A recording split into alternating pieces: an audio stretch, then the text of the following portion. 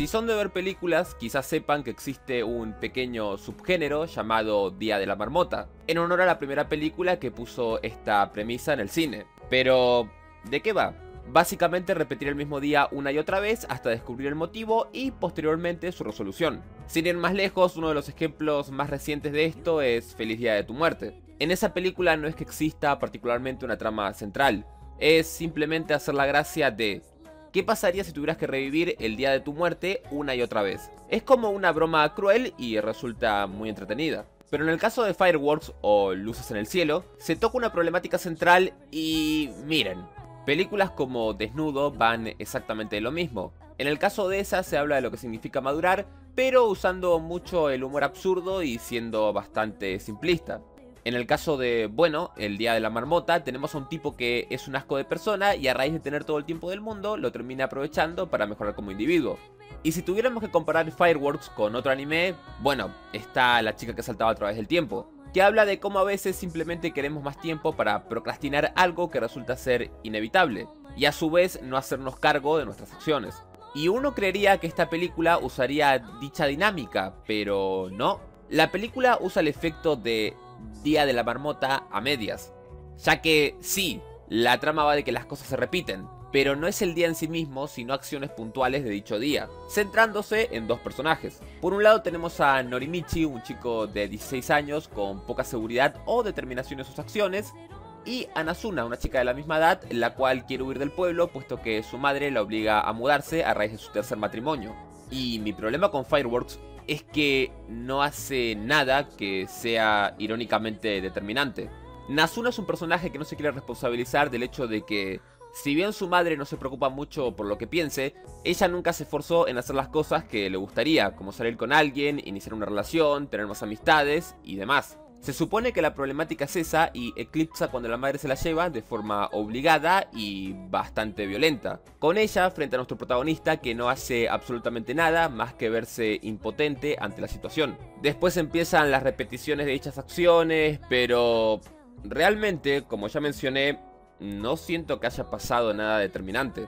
El tema de Nazuna no se toca con mucha profundidad y sabemos muy poco de Norimichi dejando de lado el hecho de que se fijaba en Nazuna desde lejos, pero no tuvo el valor para declararse. Y podés interpretar si querés que esto es un mensaje de cómo tenemos que aprovechar nuestro tiempo para no arrepentirnos y bla bla bla bla bla. Pero dejando de lado una analogía que está en toda la película, que es sobre si los fuegos artificiales son planos o redondos, sí, así de ambiguo, no es que se haga nada con el tema. La resolución de la película ante todo esto es lo que uno definiría como un subtexto o varios mensajes indirectos. La parte con más fuerza es justamente el final donde se muestra de forma gráfica y bastante bonita las posibilidades en la vida de cada uno, lo que puede ser, lo que no fue o lo que será. Y es bonito, es un mensaje que se transmite en un breve instante y de forma bastante genial. Pero hasta ahí. La película no muestra una resolución de Nazuna y no conocemos lo suficiente a Norimichi como para, bueno, entender qué cambios tuvo más allá del hecho de que ahora tiene una determinación en lo que hace. Y la trama de por sí no pone toda la carne en el asador, es decir, no apuesta al máximo por la premisa que tiene. La chica que saltaba a través del tiempo es una película que odio.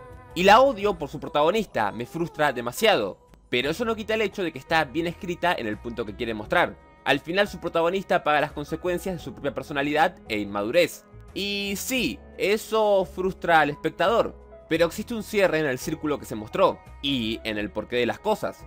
Lucecitas en el cielo maravitupendas concluye de forma abierta, y quizás eso estaría bien si los personajes principales hubieran tenido algún tipo de conclusión decente, pero Nazuna y Norimichi tienen un encuentro final en un mundo surrealista, nunca mejor dicho, y no te dicen o muestran cómo esta persona decide encarar sus problemas. Entonces, ¿de qué sirvió todo esto? Uno pensaría que quizás es por el hecho de que van muy rápido o necesitan más tiempo. Pero Mr. Nobody, que va exactamente de lo mismo, hace una puesta en escena tan buena con esta premisa que al final de la película te terminás replanteando las diferentes acciones de tu vida y si estas tuvieron o no realmente alguna importancia. Esta película te dice, mira, rasgamos de forma muy superficial el tema y no ejemplificamos casi nada. y vos estás como... Eh, ok. Y nada más que acotar. La verdad es que miré esta película porque, bueno, pensé en hacer videos de este estilo y tal.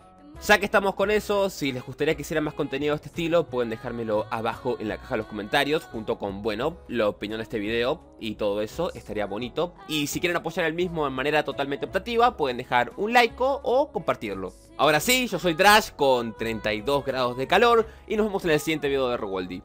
Adiós.